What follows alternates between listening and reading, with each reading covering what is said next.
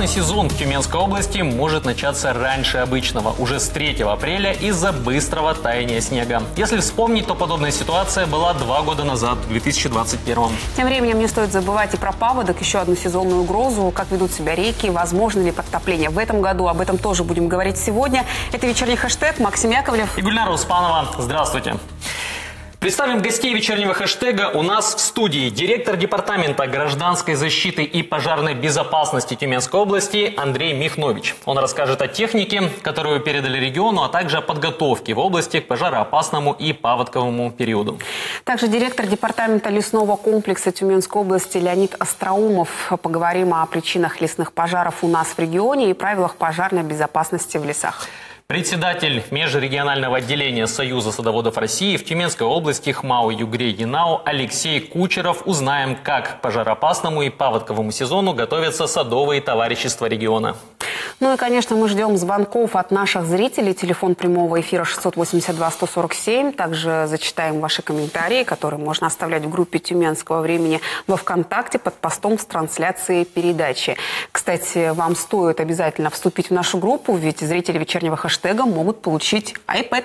С 3 апреля по 3 мая смотрите нас в прямом эфире во ВКонтакте, ставьте лайки и пишите вопросы все. Подробности в нашей группе.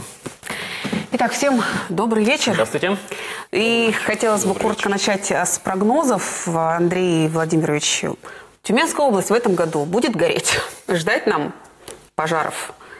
Ну, вообще, по прогнозу Рослесхоза, который на общедоступных информационных ресурсах размещен, э, в апреле ожидается повышенный уровень пожарной опасности э, в южных районах Тюменской области. То есть это говорит о том, что условия для развития природных пожаров будут благоприятны. То есть не исключено. Алексей Сергеевич, как дачники не насторожены в этой связи? Вы знаете, дачники насторожены. А насторожены тем, что не везде есть водоемы. И везде у нас сегодня есть возможность провести э, тот же водопровод. Многие возят его из города, да, то есть и воды мало. Поэтому, естественно, насторожены. Леонид Сергеевич, когда все-таки может начаться у нас э, пожароопасный сезон? Действительно уже со следующей недели можем объявить? Ну, действительно, то есть это э, не начало учебного года, который у нас, как известно, в числе 1 сентября, и ежегодно ничего не происходит. То есть открытие пожароопасного сезона, как и введение соответствующих режимов, безусловно, это привязано, привязано к погодным условиям. А мы все видим вот последнюю неделю повышение температур, а, энергичный сход снега, особенно вот по южной зоне, то, что Тюмень, прилегающие к Тюмени районы, а здесь э, достаточно уже много пространств, которые от снега очищены. Соответственно, по условиям погоды, коль скоро они назрели, то с 3 числа мы э, планируем выпустить соответствующее распоряжение губернатора области и э, ввести и открыть пожароопасный сезон, ну и, собственно говоря, ввести особый противопожарный режим э, и запрет на посещение лесов э, гражданами. Потому что вот все сухое, что зиму угу. стояло под снегом, оно обнажится, а опыт предыдущих двух лет показывает, что это прекрасная э, горючая растительность. Силы ветров мы тоже на себе все испытали, они вот весь э, март у нас э, достаточно серьезную ветровую нагрузку создают. Поэтому, коль скоро такие условия созданы, то и мы режимы все вводим заблаговременно. То есть не рисковать и не откладывать это Я все в долгий ящик. Еще, а... Леонид Сергеевичу да. пару слов. Мы еще одновременно с этим вводим и режим повышенной готовности для всех оперативных и аварийных служб, составляющих систему РСЧС Тюменской области. Ну а далее в целом о ситуации в стране на связи со студией временно исполняющей обязанности начальника авиалесоохраны Дмитрий Селин из Московской области. Дмитрий Александрович, приветствую вас. Вот какая обстановка сейчас складывается в России, где в ближайшее время нужно готовиться к пожарам? Оперативная обстановка на текущий момент на территории Российской Федерации у нас зарегистрировано 63 лесных пожара на общей площади чуть более 3,5 тысяч гектар. За истекшие сутки э, основное количество пожаров у нас возникло это в Дальневосточном федеральном округе, это еврейский, еврейская автономная область, Амурская область. Вместе с тем также у нас регистрируется большое количество термических э, точек на территории Российской Федерации. В большей степени, опять же, это восточные э, регионы нашей страны и также э, Южный федеральный округ. Такие термические точки наблюдаются. В основном это категории иных земель, то есть это не лесные пожары. Прежде всего, причина возникновения этих термических точек, конечно, это мы с вами, люди, человек – Это неосторожное обращение с огнем, это проведение неконтролируемых палов, сухой травяной растительности. Это, возможно, какие-то очистки земель сельхозназначения и так далее. Ну, нас, конечно, больше интересует ситуация у нас в Тюменской области, а также в ХМАУ, ЯНАУ. Какие данные на сегодня есть? Ну, прежде всего, на вашей территории еще благоприятные климатические условия для того, чтобы лесных пожаров не возникало и возгораний иных, э, на землях иных категорий. Но, тем не менее, не за горами уже весна и лето, поэтому на текущий месяц мы прогнозируем слабую горимость э, в ваших регионах, но вместе с тем, уже начиная там со следующего месяца, с мая, конечно, возможно э, пике горимости. Будет ли гореть сильно субъект или не будет, это зависит от нас с вами. Вот, поэтому, пользуясь случаем, хотелось бы попросить э, через ваш канал э, также донести информацию до жителей ваших регионов, чтобы соблюдали правила пожарной безопасности в лесах, ну и, соответственно, не разводили э, различные костры, особенно в весенний период времени. Ну, очень надеемся, что жители прислушаются. Спасибо. На связи со студией был Дмитрий Селин, временно исполняющий обязанности начальника авиалесоохраны. И, к слову, о технике. Накануне министр МЧС России Александр Куренков прибыл в Тюмень вместе с губернатором Александром Мором. Он передал сертификаты и ключи от пожарной техники службам области. В итоге автопарк регионального управления МЧС пополнился на 42 единицы. Пожарные автоцистерны, лестница, автобусы, специальная экспертно-криминалистическая лаборатория на колесах и катер куплены за счет федерального бюджета. Это самая большая передача техники региону за последние последние годы в России, отметил министр. Есть распоряжение президента до 2030 года переоснастить современными, э, современной техникой. И мы выполним эту задачу, постараемся ее Мы э, за зиму приобрели дополнительную лесопожарную технику в наше э, учреждение лесного хозяйства и нашу государственную региональную противопожарную службу мы приобрели дополнительное, дополнительное количество беспилотных летательных аппаратов, поскольку они себя очень хорошо зарекомендовали. Так, Андрей Владимирович, 42 единицы техники. Самая большая партия за последние 10 лет, переданная вообще регионам. Чем мы так отличились? И вот эта техника, она у нас была в наличии подобная или вот это новинка какая-то для нас? Ну, вообще, как уже э, сказал министр, это работа в рамках программы переоснащения пожарных подразделений. Э, ну и действительно, Тюменская область два предыдущих года активно боролась с природными пожарами, э, производился повышенный износ пожарной техники, угу. и э, в совокупности все это дало такой результат, что министерство решило поставить увеличенную партию пожарной техники в этом году. Если пару слов сказать о самой технике, то это надежные, проверенные временем образцы, автоцистерны тяжелого класса на базе автомобилей «Урал». Уже многие годы верой и правдой служат э, пожарным всех регионов. Единственное, что в этом году они все пришли на э, новой базе обновленного Урала Next, угу. что весьма приятно угу. водителям пожарных автомобилей. Леонид Сергеевич, скажите, то, что министр прибыл именно к нам, это показатель, что, может быть, чем-то встревожен он, э, ситуация его здесь заботит, хочет лично посмотреть, или наоборот, что у нас все хорошо, и он на слаженности работы хочет отметить и взглянуть? Ну, я не готов комментировать э, визиты федерального министра. Я могу только э, дополнить слова губернатора, ну или, может быть, отчасти их э, расширить. Он упомянул о том, что наши лесопожарные формирования также укомплектовываются. И здесь э, то, что касается федерального центра э, по линии нашего регионального проекта сохранения лесов с участием федерального финансирования, мы в этом году приобрели два пожарных автомобиля э, в нашу авиабазу. Э, они уже э, по факту поступили, то есть поставка состоялась. Кроме этого, дополнительно за счет э, средств областного бюджета губернаторам были выделены такие средства. У нас э, уже состоялась поставка экскаватора. Мы ждем э, дополнительный трал. В прошлом году мы тоже трал получали, потому что крупная тяжелая техника гусеничная, она нуждается в перевозке. То есть самостоятельно двигаться по дорогам общего пользования не, не может. Соответственно, это большое подспорье нам для маневрирования. И плюс мы в этом году закупаем наши малые лесопожарные комплексы на базе УАЗов. То есть техника у нас нас постоянно не только обновляется, но и дополнительно поступает в распоряжение нашей Тюменской авиабазы для того, чтобы оперативно а, маневрировать и оперативно реагировать на те возгорания, которые происходят. К слову сказать, лесных пожаров действительно у нас а, на сегодняшний день нет. Но, тем не менее, вчера уже у нас случился первый ландшафтный пожар, на который а, авиабаза оперативно отреагировала. А, огонь был потушен. Но, тем не менее, это уже а, тревожный звоночек, звоночек о том, что все-таки граждане, не все, по крайней мере, наши земляки, прислушиваются к увещеваниям, к уговариваниям, э, к осторожному обращению с огнем и воздерживанию от разного рода огневых работ э, в период вот э, такой высокой, так скажем, пожарной опасности. Ну вот лесных пожаров пока нет, но мы все помним, как сильно горели в 2021 году. После того, какую работу провели, какие выводы сделали? Работа с 2021 года очень значительная проводится. Это к тому, что Леонид Сергеевич уже сказал по вопросам оснащения. А, мы продолжаем создавать региональную противопожарную службу. На сегодняшний день она включает уже в себя 40 а, подразделений численностью а, почти 500 человек. Мы активно ее оснащаем пожарной техникой. Купили мы за последние два года 15 единиц новых пожарных автомобилей. Уделяем Э, внимание и борьбе с ландшафтными пожарами закупили трактора с необходимым навесным оборудованием. Они тоже в текущем году наряду с пожарной техникой вступят в бой.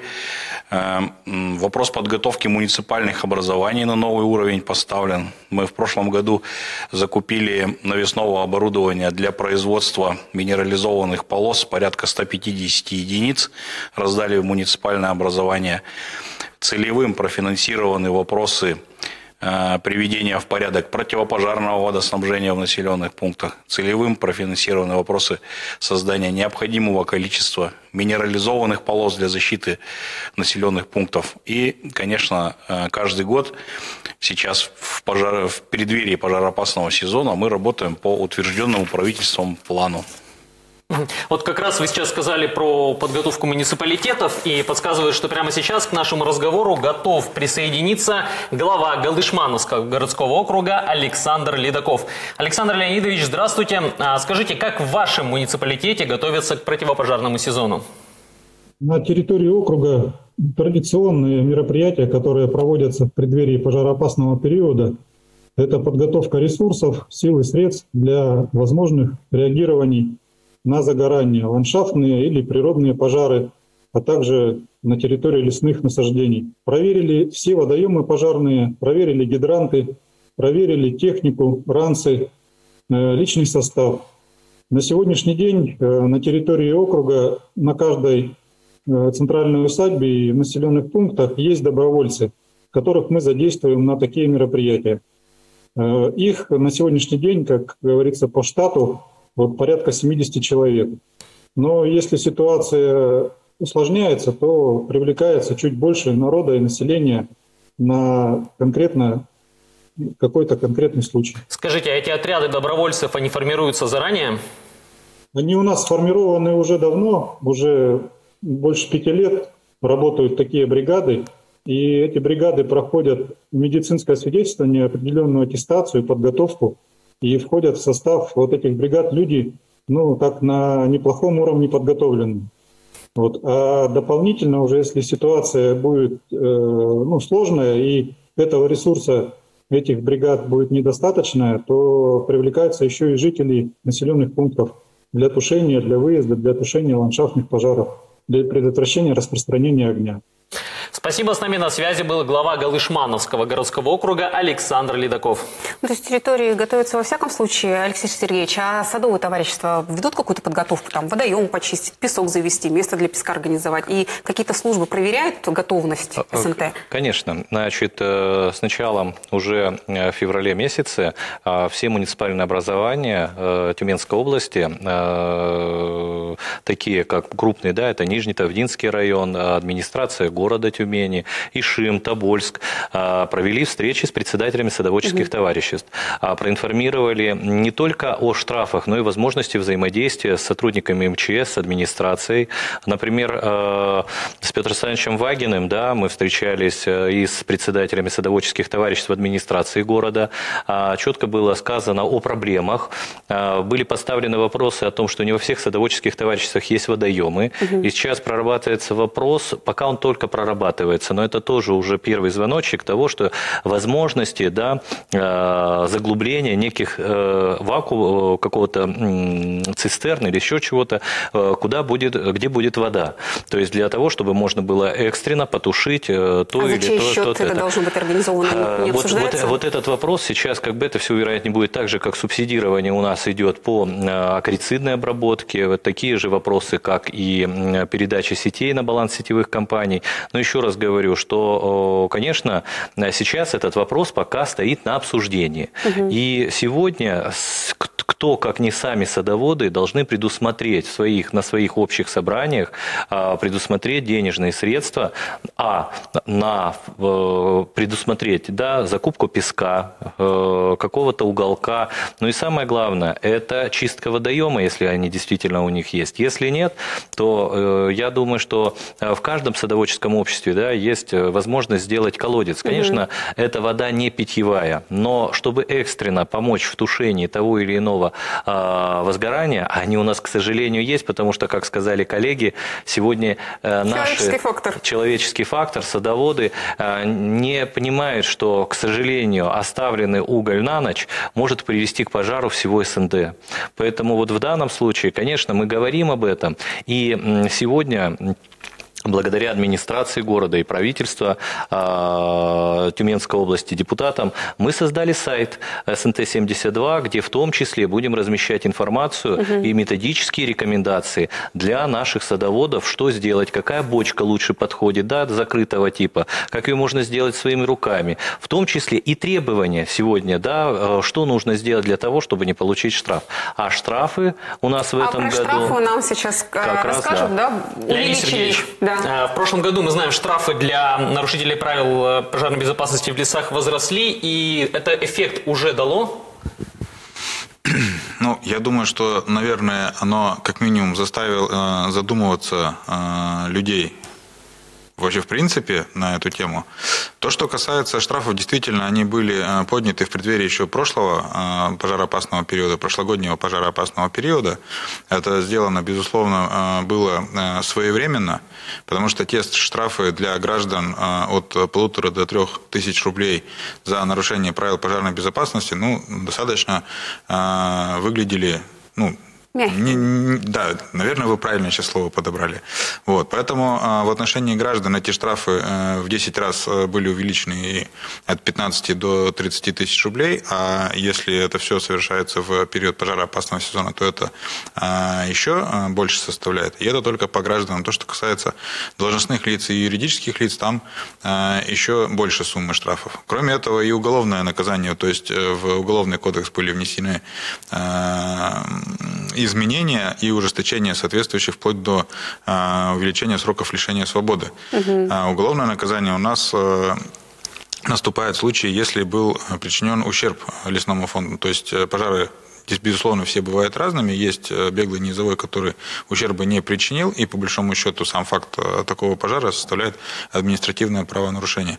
Но есть и э, пожары значительные по площади и с причинением ущерба древостою, и в данном случае уже речь идет об уголовной ответственности, но это любой вид ответственности не, так скажем, не исключает возможности и последствия в связи с возмещением ущерба, то есть угу. это тоже будет предъявлено.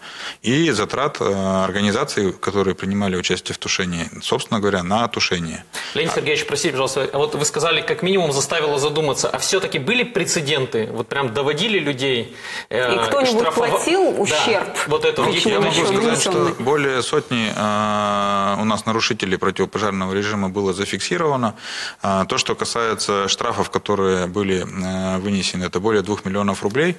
Ну и, собственно говоря, вот сейчас не готов цифру назвать, э, сколько из них добровольно было погашено. Как правило, добровольно гасят люди в небольших суммах. То, что касается уже больших сумм, то здесь до суда речь доходит до исполнительных производств и так далее.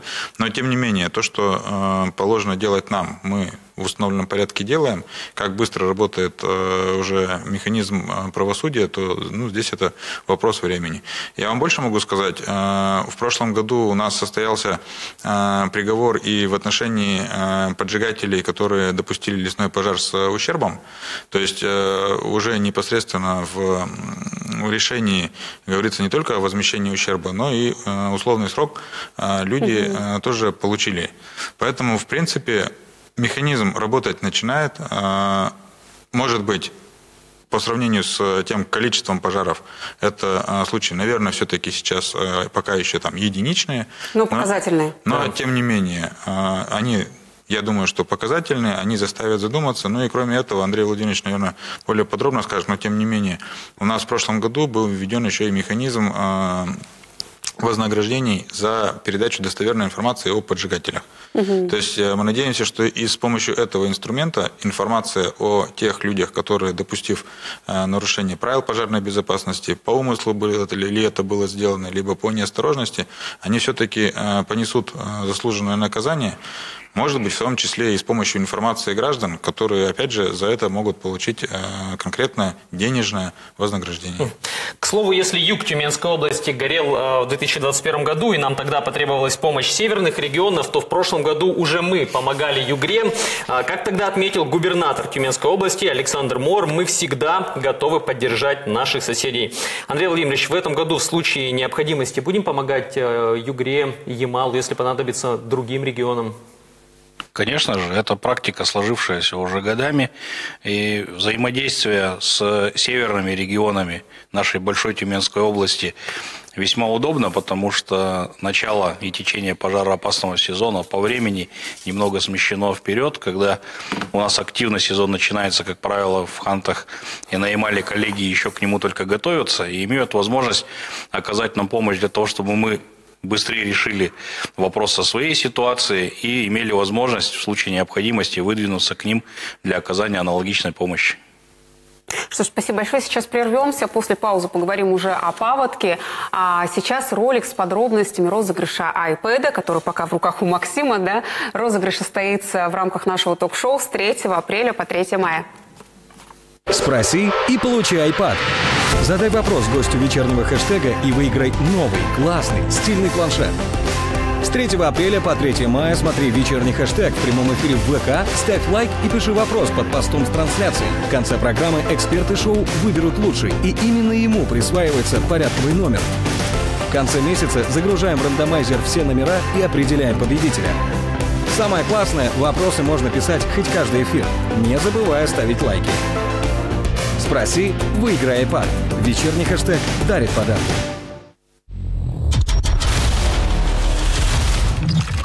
И огонь, и вода. Как Тюменская область готовится к пожароопасному и паводковому периоду?